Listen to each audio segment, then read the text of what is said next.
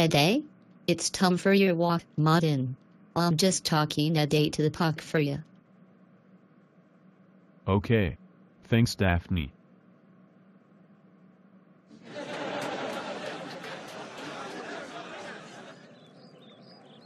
Excuse me, miss? Yes? Is it alright if I have a seat? Of course.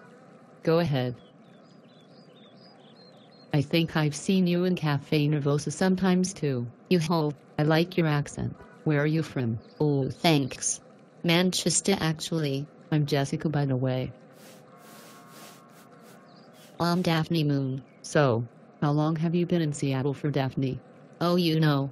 Also, I'm here about a year ago to work as a physical therapist. That sounds like a good career move. Does it pay well? It did when I moved in with Dr. Crane and started working for his father. I'm sorry, the Dr. Crane. From the radio? That's the only one I know. Sorry, Daphne. Let me get this straight. You said you moved in with Dr. Crane and his dad, Martin? That's right. You get to live with Martin Crane? Aha, I thought you had a thing for him, ever since that day in the cafe shop, when I had one of me psychic flushes.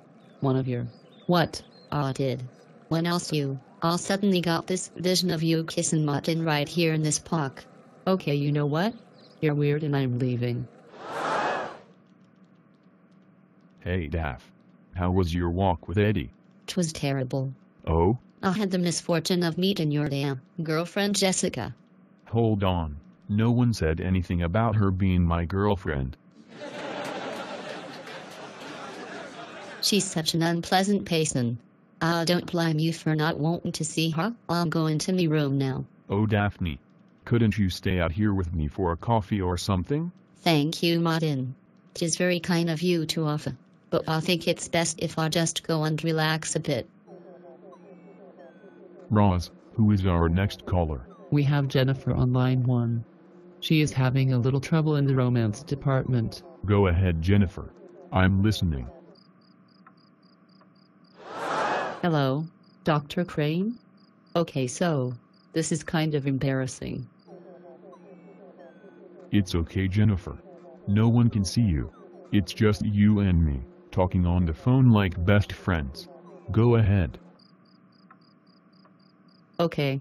So I am a university graduate who just moved to Seattle about three months ago. I'm still settling into my apartment and part-time coffee shop management job. And your problem?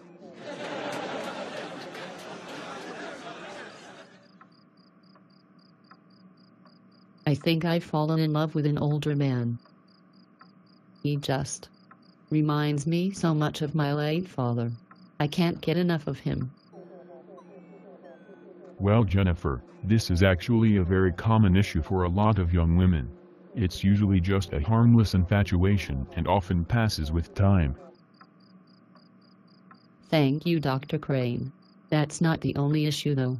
Today, I was somewhere outdoors, and I met this man's roommate. She's an exotic, skinny, beautiful brunette with an accent and I can't compete with that. Oh my gosh. She's describing Daphne.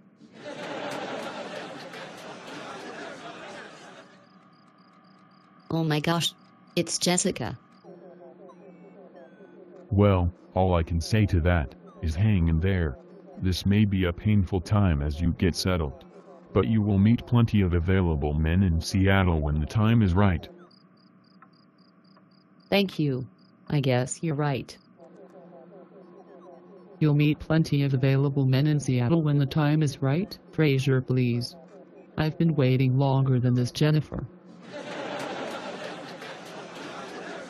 Actually, Roz, I think that was Jessica from Cafe Nervosa. How do you know? I recognized her voice. And the exotic brunette roommate is Daphne.